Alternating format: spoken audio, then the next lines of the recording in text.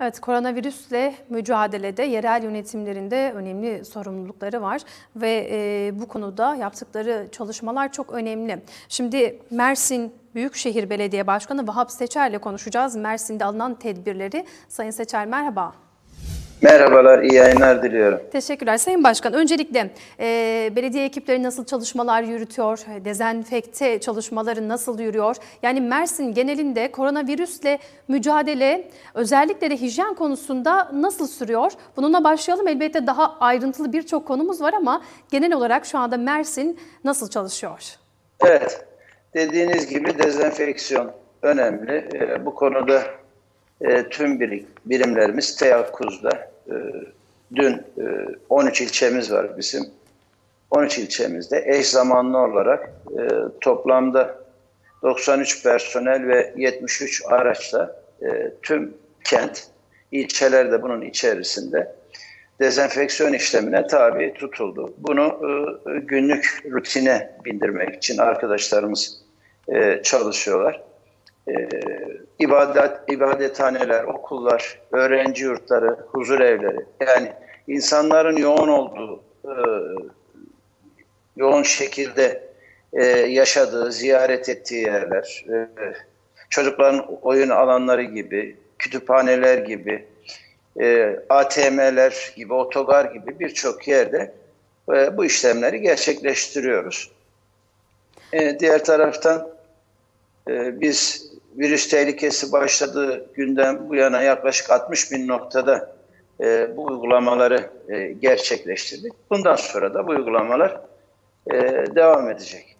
Evet Sayın Seçer, şimdi e, bizler de kişisel olarak tabii tedbirlerimizi alıyoruz. Aynı zamanda belediyenin de bu önemleri çok önemli. Tabii bir yandan da virüs bulaşmasını engellemeye çalışıyoruz ama e, psikolojik boyutu da var bu işin. Yani insanlar artık bu e, virüs korkusuyla da bir yandan başa çıkmaya çalışıyor. E, belediye olarak bununla ilgili bir e, tedbiriniz var mı? Örneğin bir kriz masası oluşturuldu galiba koronavirüsle ilgili. Neler evet. söylersiniz? Evet, bizim e, 16 e, Mart tarihinde oluşturduğumuz e, bir kriz e, masamız var. Burada ilçe belediyelerimizle de koordinasyon e, sağlıyoruz.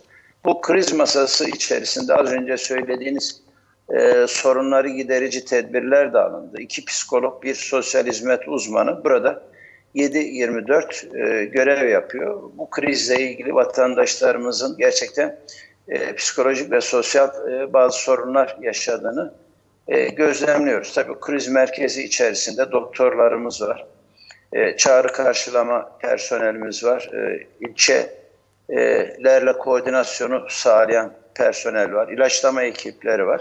7-24 bu arkadaşlarımız e, bu görevlerini yerine getiriyorlar. Günlük yapılan işler akşam raporlanıyor saat 16'dan sonra. Ve bir sonraki gününde planlaması yapılıyor. Tabii kriz merkezinde vatandaşlarımıza virüs ve kişisel e, korunma ile ilgili bilgiler e, aktarıyor. Gerekli e, onlara yönlendirici e, bazı e, iletişim e, kullanılıyor ve e, bu süreci böyle götürüyoruz.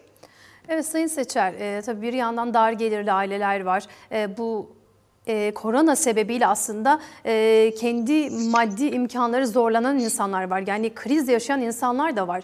E, belediye olarak bir çalışmanız var mı dar gelirli ailelerle ilgili? Örneğin yani yemeğe dahi ulaşamayacak insanlar var. Yani e, çünkü çalışamıyorlar, günlük geçiniyorlar. E, günlük geçindikleri için de işlerinde aksamalar var. Onlar için neler yaptınız? Doğru. E, tabii ki e, bir tarafta yoksulluk, diğer tarafta e, bu krizin yarattığı bazı sorunlar var. İnsanlar işine gidemiyor. Zaten bu insanlar günlük kazanıp tüketen, yiyen insanlar çalışmasa e, evlerinde aç kalırlar. E, biz şöyle bir uygulama başlattık. Bu o, uygulama e, iki farklı konsepte. Bir tanesi isteyen yurttaşımız, alım gücü olan yurttaşımız bizim e, mahalle mutfaklarımız var. Belediyemize ait. Burada 3 TL'ye üç çeşit yemek edinebiliyor.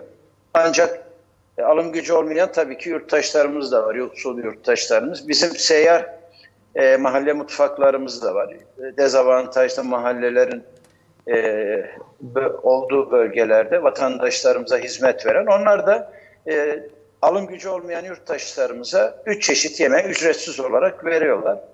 Üzerinde bir çalışma yapıyoruz. Bunu arttıracağız. E, farklı noktalara yaygınlaştıracağız. Daha fazla ücretsiz e, yemek sağlamanın şu anda e, çalışmalarını yapıyor arkadaşlar. Belli ki bu kriz süreci uzayacak. İnsanların ihtiyacı çok daha fazla artacak. Çünkü e, birikimi olan insanlar gün geçtikçe bu birikimlerini eritiyorlar. Dediğim gibi gün kazanıp gün yiyen insanlar bu insanlar. E, önümüzdeki günlerde e, çok sayıda yurttaşımıza ücretsiz yemek dağıtmanın planlamasını yapıyoruz. Ancak şu anda yapıyoruz. Evlerine de gönderiyoruz.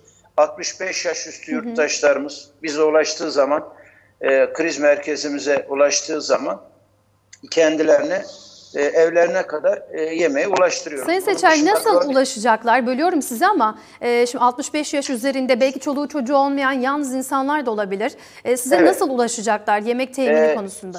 0 324 533 37 21 numaralı e, telefondan e, bizlere ulaşabilirler. Arkadaşlarımız bu çağrıyı alan arkadaşlarımız kendilerinden tabii ki gerekli bilgileri alıyorlar ve yemekleri evlerine kadar ulaştırılıyor bu yurttaşlarımız. Dediğim gibi bu kategoriye giren yurttaşlarımız 65 yaş üzeri yurttaşlarımız ve kronik rahatsızlığı olan e, yurttaşlarımız hepsine e, evlerine kadar bu imkanı e, sunuyoruz. Sunmaya da devam edeceğiz.